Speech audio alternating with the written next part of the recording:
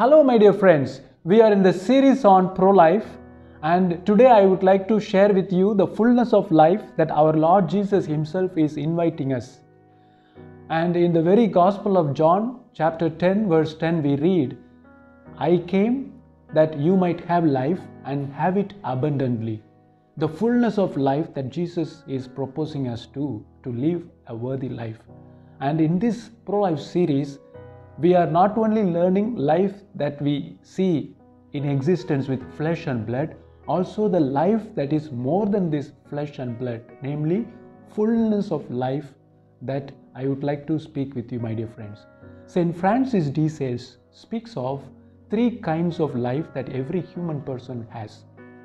Namely, he speaks of life of the body, life of the soul, and he says newly the life of the name of the person. We know that every person is combined with body, soul, and spirit. Body, soul, they are specially unique for every person, but the spirit is one and the same Spirit of God who lives in each one of us. But what is that name? And I also would like to share it is also very clear in the Word of God that we see these three life that St. Francis de Sales is speaking, my dear friends. When we understand the concept, we would see how we can go deeper in our own pro life values and how we can be practically pro life persons, life oriented persons.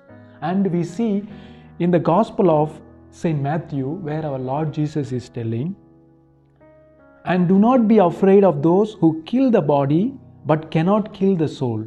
Rather, be afraid of the one who can destroy both soul and body in Gehenna. And this is very clear how the body and soul they are different but in one person. And we need to value the soul more than the body. So we see existence of body and soul clearly.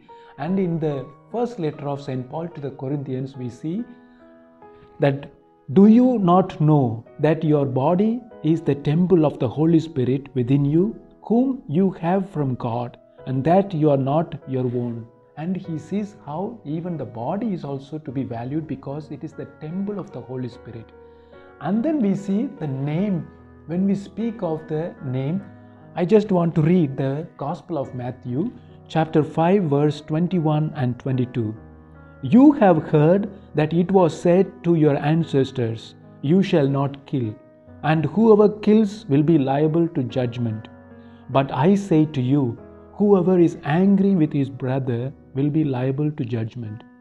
And whoever says to his brother, Raca, will be answerable to the Sanhedrin, and whoever says, You fool, will be liable to fiery Gehenna. And he clearly says, my dear friend, Jesus clearly says here, even when I call someone as a fool or some abusive term that is equal to a murder, means to say that killing of the name is also something serious. So here we see indirectly how there is life in the name.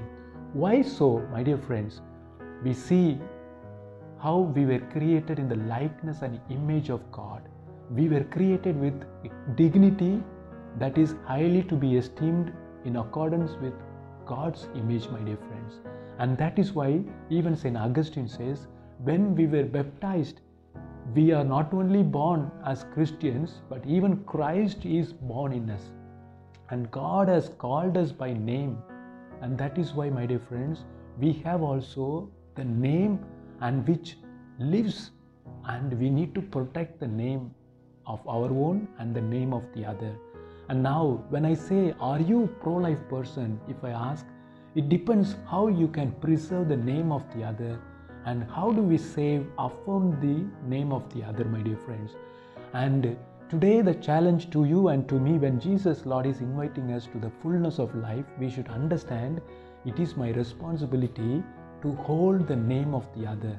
My dear friends, at home, it starts with the family, with husband and wives, and with the children. You need to protect the other, even at times when you feel difficult to live with each other.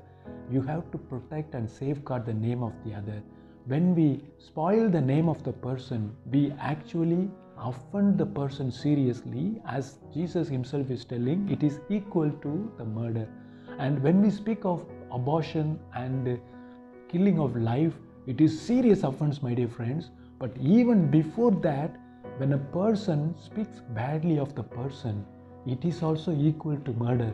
If we cannot do that, if we cannot overcome in spoiling the other's name, we would be surely not a pro life persons. We would not value the life in its fullness.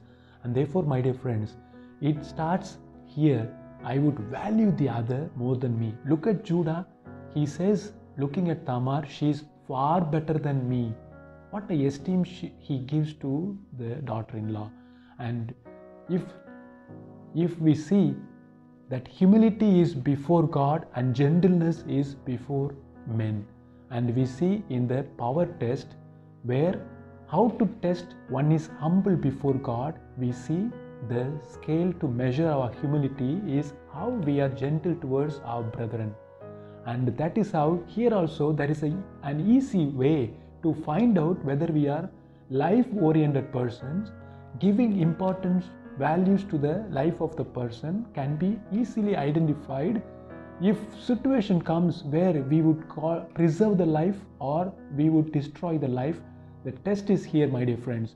If i am very sensible to preserve the name of the other at all times then surely i am going to be a pro life person. And you also would be pro life person if you are caring for the name of the other. And also for the life of the other in body, soul, and in the name.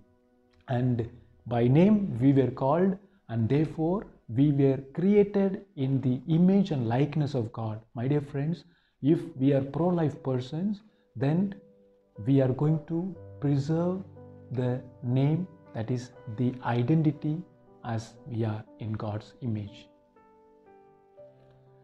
Glory to Jesus, Ave Maria feel